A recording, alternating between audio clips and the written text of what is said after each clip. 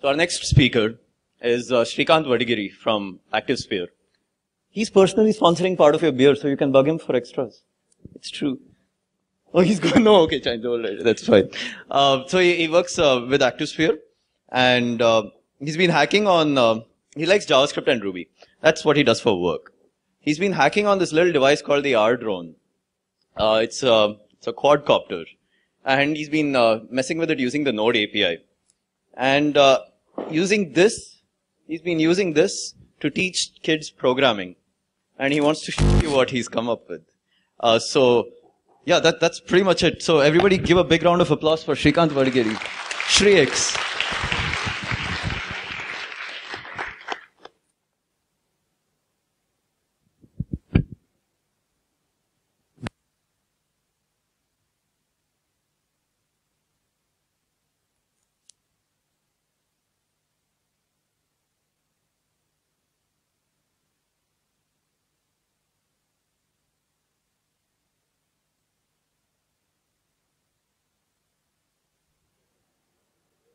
Apparently, we have calculated about a 6 to 10% chance of a fatality in the next 20 minutes. Just saying. Huh?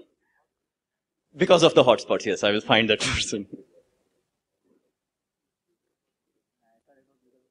yeah, no, actually. So.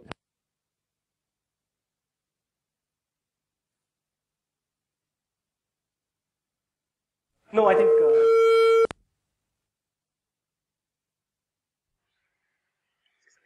hey, yeah, can you hear me? All good? Cool. Cool. Um, so I'm Sreekanth. I work for ActiveSphere, like uh, Sunil introduced. I'll be talking about uh, programming flying robots. I mean, it's like a really broad sort of thing. So specifically, I'll be talking about Ardrone. How many of you heard of Ardrone? Oh, pretty cool. How many have Ardrone? Oh, very cool. We should talk. Uh, uh, so without much ado, I mean, I'll be like, actually, I'll show it. It's basically a quadcopter. Uh, I have it here. It looks just like this. Uh, let me stick the, oops. Okay. Yeah, I've got some notes there, but like, yeah, ignore it. I guess I can't avoid it. So it's got a battery that comes along with it. Uh, stick it in. It, it also has a USB thing, which sort of lets you record stuff. Um, yep, it's flipped on its own. So this is the hull that you sort of attach to it just to protect you guys and this thing itself from uh, doing bad stuff. Uh, so basically what I plan to do is sort of fly it Hope it all works. Uh, can I go back to the session? Yeah.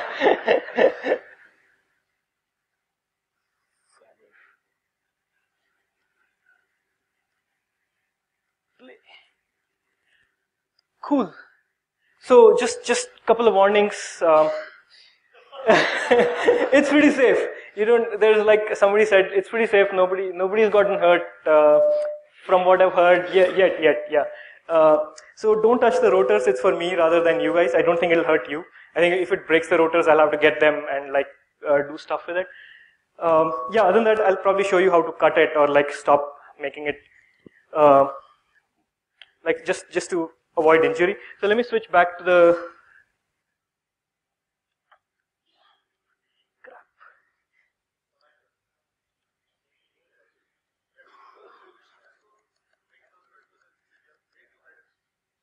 That's good? I'm sorry? Uh, I just. That's strange. So. oh shit. okay.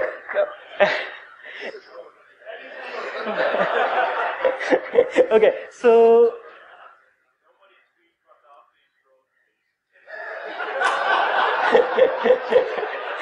Okay, okay, just let the, let the fun begin. Oh, sorry. Wrong place.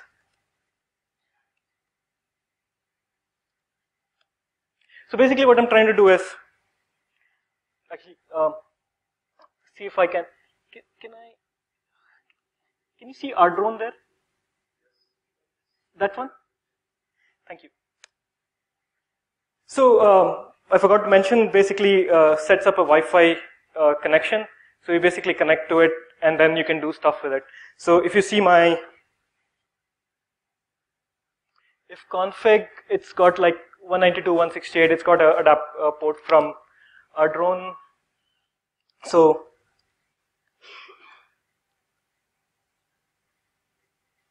am I am I on the ArDrone? Can I can you see if I'm on the ArDrone? Uh,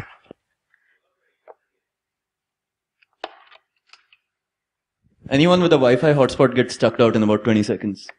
Just saying. I can't see.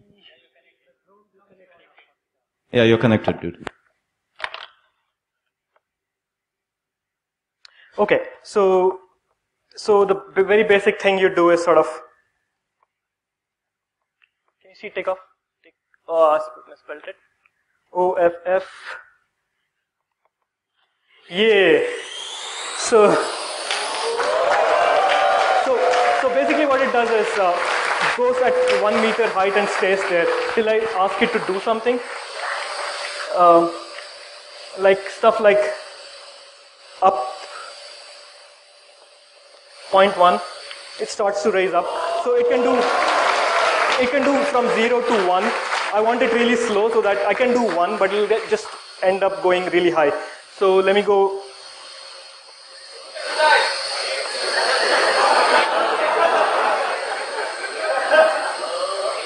Okay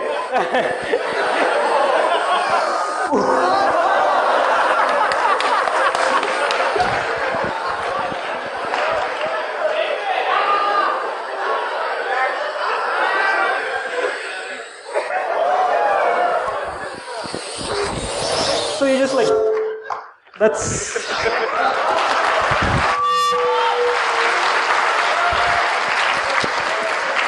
sorry sorry about the trouble so so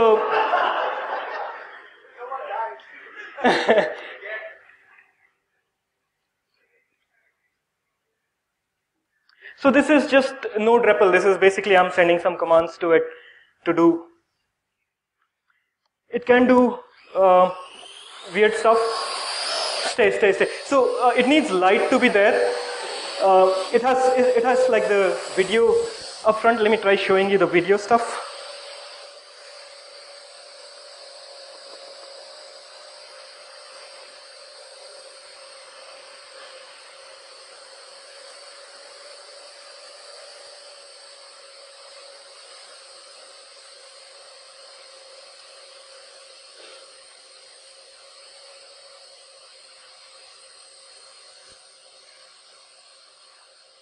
Yeah. So basically, it's streaming as we speak. Before it comes towards you, let me. Uh, back point two. Yep. That's, uh, basically a. This is what. This is like sort of what it can do. It's still showing the video right now because it's streaming, whatever. Um, cool. So is it, does it seem like a toy? Like, is it like the RC copter that uh, we use? Um,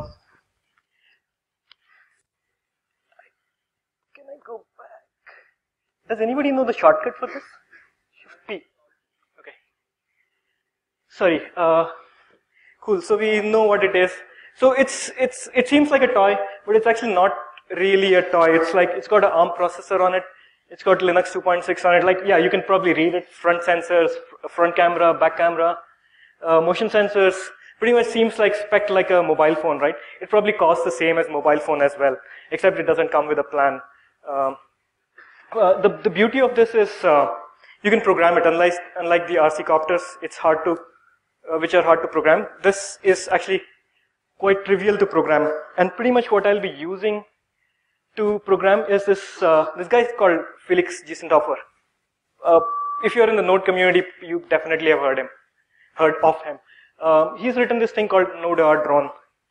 Um, Node, so this itself um, is is like locked firmware. So you can't actually upgrade or change the firmware on this stuff. But what it gives you is uh, API to access it. So uh, programmatically access it and like sort of say up down, do the stuff that we were sort of uh, doing. Um, there is actually a, a, a, GitHub project that sort of does drone, uh, open drone uh, firmware. I think like last time I looked, it wasn't going anywhere or like it wasn't getting committed to sort of thing. So it'll be really interesting to have that sort of thing so that you can do very crazy stuff. So uh, what does the SDK provide? Like the, this is like a, uh, so when you get the drone, you also get a CD along with it that says this is the SDK and stuff. It gives you low level access to the drone. Um, it also has uh, C++ bindings. It also has iPhone bindings, which, so if you have an iPhone, it's actually really easy to program, do stuff that is, uh, that you can actually do it uh, directly on uh, talking to the protocol. Um, but if you are like me on a computer and don't have an iPhone, you probably want to use the node-ar-drone stuff. Uh, quick, this thing on API. It gives you three, actually four ports. I'll just talk about three. Uh, all of them are UDP. You just say send and forget sort of API. So 555 is for the video. So that's how I sort of access the video. Uh, it does uh, H264 encoding. So you have to sort of decode it uh, back when you want to display it on the browser. AT commands are the way you sort of say send, uh, move up, up, down, left, right, uh, back, forward, stuff like that. Uh, it's actually very C++ oriented. So if you've done, like if you set this specific bit to 1, it will fly up. If you actually reset this specific bit to 0, it'll uh, land sort of API. So it's really complicated. So when I, so I, I also written a API for uh, uh SDK on Ruby, and it's really, really painful. Like if you're byte oriented is really hard. Bit oriented is really hard. Um, cool. So uh, AT commands go onto that port. It also has the incoming data, as in what's the height, what's the direction, what's the pitch and yaw and stuff like that uh, coming. Like it's about uh, 30 times a second, so it's like really, really fast. So you have to sort of throttle it down to sort of make it really work. Um, cool. So uh, by the way, I just like it's, it's like a 15 minute thing, so I wanted to make sure like I cover the whole range. So it'll be nice if you can ask the questions later, right at the end. And I've sort of planned for it, I guess. Uh, there is a huge ecosystem around uh, Node and uh, uh and ArDrone. Like uh, like I think pretty much no other community has uh, language has this many Node modules or, or modules for handling drone. Um, like DroneStream is the, is the one that I use to do the video, like do the uh, decoding stuff. Uh, Copterface is really cool. Um, I really wanted to try that for this demo, but uh, basically what it does is it sort of moves the uh, drone around and like uses OpenCV. Have you have you used OpenCV? Yeah, basically use use OpenCV to sort of detect faces, and uh, there are lots of cool usages you can do with that. Cool. Um, just just one last thing before I get on to something else. Uh, this is Nodecopter. Have you heard of Nodecopter? Oh, really cool. So if somebody had, a couple of people had drones, so we should sort of plan for a Nodecopter in Bangalore or something. Uh, basically, it's an event where a bunch of geeks get together. They get like uh, 10 drones uh, and a day to hack on it and do interesting software with it. Like I think lots of new things have the modules and stuff have come out of Nodecopter events. Um, I think it's probably based out of like uh, Felix is based out of Berlin, and like Berlin's probably the hub for all this Nodecopter stuff. So, so yeah, if you, if you want, uh, we should try something like that. So, uh, context switch. Uh, so, so, uh, let me, before talking about turtle drone, I'll talk about how it sort of came about. So I go play, uh, play with the drone, like in the badminton court, and kids come over there and like, uh, they, they're obviously interested seeing what, what this thing is. So I've been teaching them programming a little bit, like using Racket and stuff, but um, this seemed like a really uh, cool way of teaching programming. How many of you have learned, like was, Logo was your first programming language? Wow! That's super. Uh, so, so I'm pretty sure all of them, all of you guys are aware of Turtle Graphics. I mean, so, so we started doing Turtle Graphics with them. Turtle Graphics is a really simple API, right? Um, it's, it's based out of Logo, but, uh, it has forward, turn, repeat. That's pretty much the stuff that we do. Um, so what we did is basically uh, build the Turtle Graphics API onto drone, so it actually does the movement of the as you actually speak. So it, it, may look really simple for people who've done turtle graphics. You can do actually really, really complicated stuff with turtle graphics. Just these five commands, three commands. Um, like, yeah, crazy. I mean, like, I can show, if I had time, I'd probably show you uh, what all can be done with that sort of a thing. But uh, basically, we implemented this sort of thing so that we can play around. And the, and so actually, the, the reason uh, kids wanted it was uh, they wanted to race this, uh, and um, and it turns and stuff, right? So you have to program, pre-program the ability to turn at the end of the room and stuff like that. So, so that's why this uh, sort of project started. Um, I actually committed it yesterday to GitHub. So, um, still now it's been on my laptop. Uh, uh, cool. So, uh, so let me, so I probably show you a demo quickly. Uh, basically, uh, what we planned to do was to sort of do Hello.JSFoo with, with the drone API. Actually do the movement along with it. I'll see, like there isn't enough space and the light isn't that good to sort of uh, actually do it precisely. And probably my code is buggy as well. So, uh, let's see, let's see if it works. Uh, uh it's, it's all, actually. Could you get the lights on? Anyone? Hello. It, it's cool. It's cool. Yeah. It's cool. Um, I mean, I, I, have an excuse for that, right? so, so basically, uh, the way it was implemented was it does it horizontally. Actually, it draws it horizontally, but it's actually not very visible in this sort of a thing. So we actually switched it to make it vertical. So, so let's do that.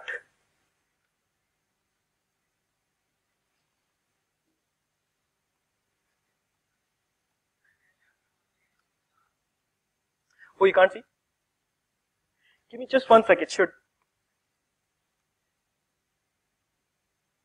Uh, just to be safe, I think I tried it this morning, sort of flew back in there. So I'll keep it.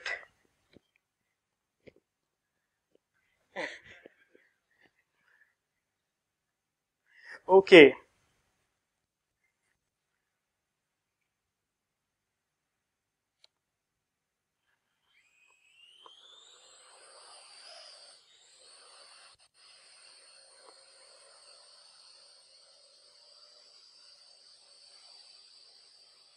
It's trying to do a J, by the way.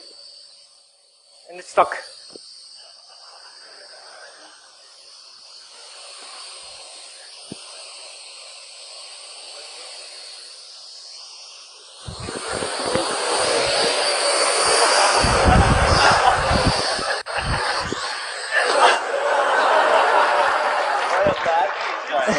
no, no, it's not battery. so, so probably you can see the J and the S. It's sort of messed up because all, all the monkeying around. But basically that's sort of what I was trying to do. Uh, uh, cool.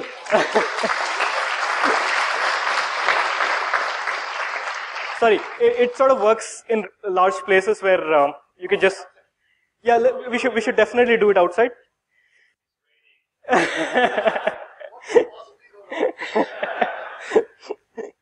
Okay, so um, so it's it's at uh, this place. Uh, there are lots of. Uh, I'm sort of winding down now. There are lots of interesting ideas that you can build with this sort of a thing. Um, and hackers wanted. I mean, if you're interested, let's uh, team up sometime. Like I really like. There are lots of interesting ideas. I mean, some of them have been around uh, uh, street sentries and like having games with kids that actually play one of the one of the participants sort of like don't allow this guy to cross this line or something like that. So there are lots of interesting games. Uh, if you if you have time, feel free to hack on it and let me know. So I'm Shrieks. Thanks. I'm not finished yet. I have one more other thing that I'd like you guys to play when we have questions, which is uh, which is what I'll do is set up this as a node server on my machine. So if you have telnet, you can just connect to it and sort of so people, I guess people around here should get to the ArDrone network, uh, telnet to it, and run those commands. Um, go easy.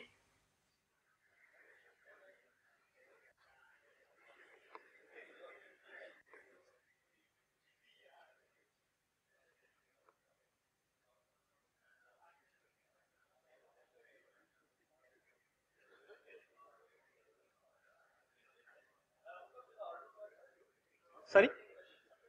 Yes, uh, let me start the server up and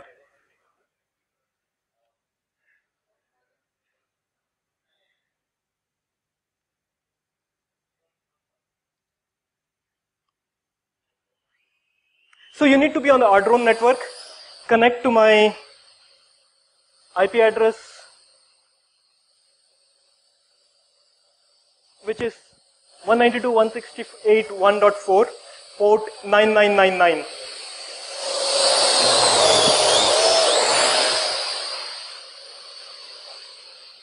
Um, I guess I can show you an example.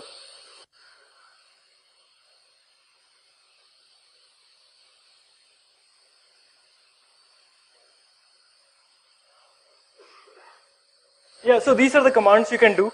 Uh, be careful of the animate because it, it needs a lot of space. Uh,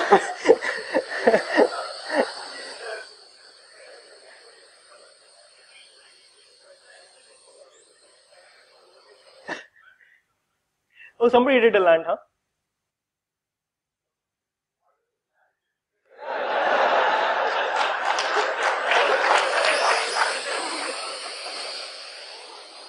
So, so this is the stuff like I was talking about. It buffers and and the command. Uh, so it'll start executing it uh, almost immediately. So basically, the no, the way API the way API works, it's like it's incremental. You have to keep sending the same command over and over again for it to do. If you want to make it go up, you have to keep sending up, up, up, up the AT commands that. Uh, so uh, if something else comes, it'll sort of start sending that. Uh, 192, 164, 1, you have to be on the Ardrone network.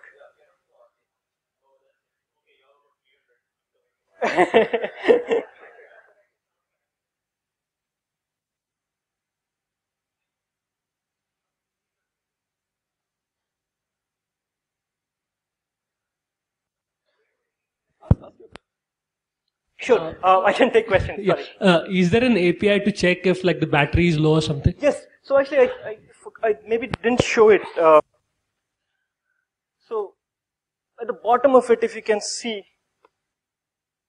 it's actually showing a lot of information. Um, that was it's static now because it's not getting any more information, but it's uh, giving you pretty much everything. There's a lot of data, more data than you can. And use, how high can it go? Um, I've pushed it to 40 sort of uh, meters, basically co- uh, three-story high uh, building, uh, maybe maybe maybe Yeah. around that sort of a thing. So wha- say what happens when you're on the But but I know that it can go till 50 and 60. Uh, it's the Wi-Fi range that sort of stops how far it can go. Yeah what yeah was about to ask the same thing. Say did, Yes, sorry. did it happen so like it was on the second floor and suddenly it went off the Wi-Fi range and you, you had to wait the battery to go down so that it'll come down or something like that? No, so Yeah. so so uh, it just yeah. So there are cases where it just goes away, and you have to wait for the battery to come down. There are uh, other things you can use to sort of bring it down, like like all this all these apps that I've written basically have Control C, which will like land it. Okay. Like, so you you sort of have to build that into your uh, uh, this thing. When you go out of control, set timeout. Right. Uh, is there a way to plug in Johnny-Five or something like that to this? There is this Johnny-Five, uh, which which is for the uh, Raspberry Pis and things like that, uh, an interface probably. I I haven't I don't know. We'll take it offline. Thank you. Okay, you guys can obviously bug him outside. I expect he's going to be taking a bunch of questions and demos. Big, big hand for Sreekanth Vadagiri, everybody. Thanks guys.